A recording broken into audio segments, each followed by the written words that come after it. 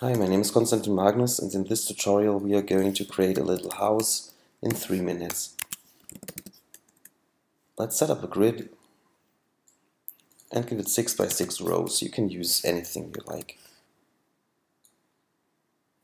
I just make up some shape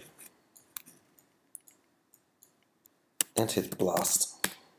Let's invert this and use a divide node to clean it up by removing shared edges.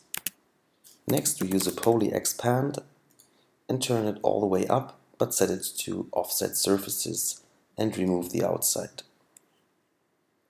Next we can use another divide node to break it up into polygons that have square shapes. Don't think we need convex polygons here.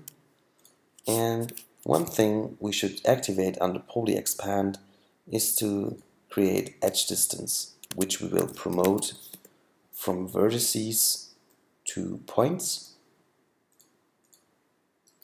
And we will use this attribute to put up some roof at py equals at edge dist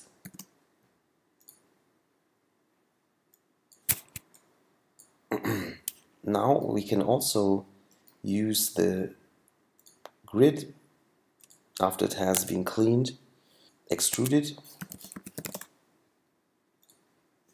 in this case by one, and don't create a front but a back. And after this step, I will put it into a divide and just bricker it like so. Next we can merge the roof with the walls.